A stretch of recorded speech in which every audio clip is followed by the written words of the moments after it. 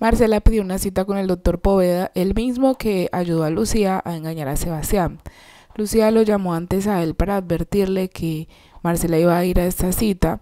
Ese señor le dijo que si Marcela le pedía todos los documentos, él podría ir tranquilamente a la cárcel, que ya se estaba cansando de esto. Pero Lucía le ofreció dinero y le dijo que se fuera por un tiempo mientras ella se separaba de Sebastián para que ya no lo molestaran más. Así que este señor le pidió a su secretaria que lo negara frente a Marcela. La secretaria le dice que mm, el doctor tuvo que cancelar todas sus citas y atender a una paciente que ella no la podía atender hoy.